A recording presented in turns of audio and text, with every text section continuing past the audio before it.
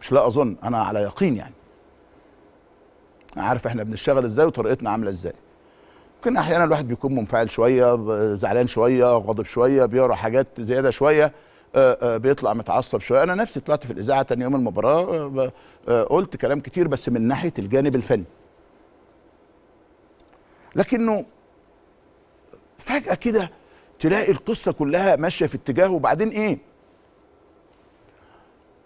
هجوم هجوم هجوم هجوم هجوم. وفي المقابل آه، مع أي حاجة مثلا ناحية تانية لا. ممنوع. ممنوع اللمس أو الاقتراب خالص يعني. طب في إيه؟ طب هو- هو الموضوع فيه إيه يعني؟ آه، هي الحدوتة إيه يا جماعة؟ نادي واخد دوري بقاله خمس سنين. نادي آه، آه، ما شاء الله في نص نهائي البطولة الإفريقية ومرشح بقوة بإذن الله إنه يصل للمباراة آه، النهائية.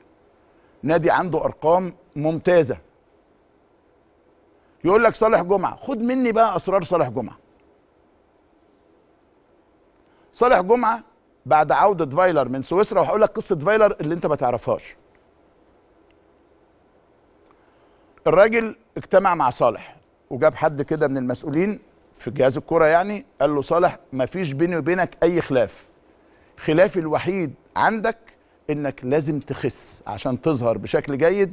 أنت عندك من خمسة لستة كيلو زيادة لازم تنزل ولازم تعمل برنامج هنا وبنعمل لك برنامج عشان تشتغله عشان يبقى فيه خسية عشان تبقى جاهز عشان لما تلعب يعني تخرس ألسنة الجميع.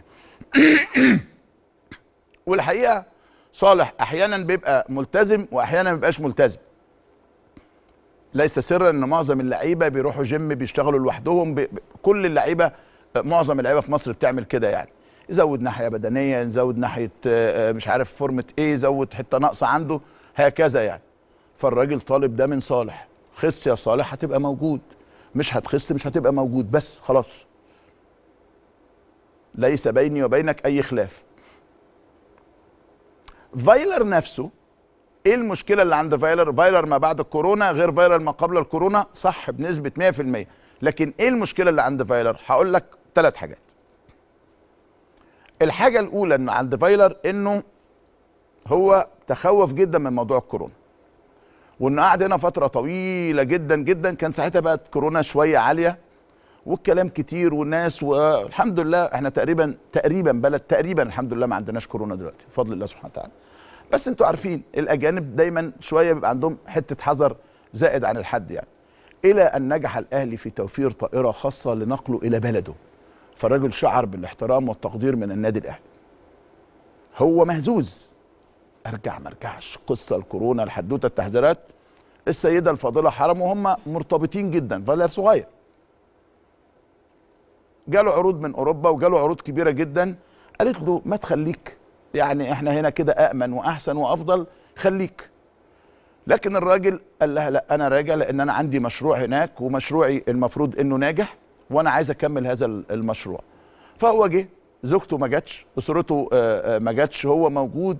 فبالتالي من ساعة ما رجع وهو في حالة يعني آه، يعني صراع صراع داخلي.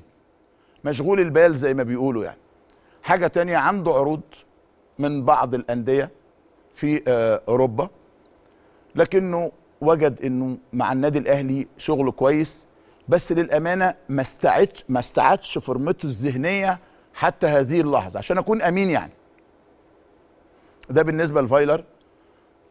إدارة النادي الأهلي تحركت قعدت مع الراجل قعدت مع الكابتن سيد عبد الحفيظ قعدت قعدت قعدت اتكلمت قالت خلت سوت. وفي النهاية اتفقوا إنه آه، اللي جاي هيبقى أفضل الشكل هيبقى أفضل. اللعيبة نفسها حسب يعني ما قالوا لي عينيها برقت عينيها لمعت مرة آه، تانية شافوا لا القصة لا عرضهم قدام إنبي سيء قدام الإنتاج سيء آه، هم كسبوا إم- أسوان سيء قدام الزمالك آه، سيء. وهديكم شوية مفاجآت النهارده في التحليل الفني لمباراة الأهلي والزمالك. واعترفوا بهذا آه، الأمر وبدأوا يشتغلوا بشكل جاد وعندهم مباراة عايز أقول لك مباراة الجونة والأهلي بكرة صعبة جدا. وبقى افتكر كلام صعبة جدا جدا. المباراة اللي بتيجي بعد خسارة ومع أزمة وبتاع بتبقى صعبة جدا والفوز فيها إذا تحقق بيبقى بصعوبة بالغة.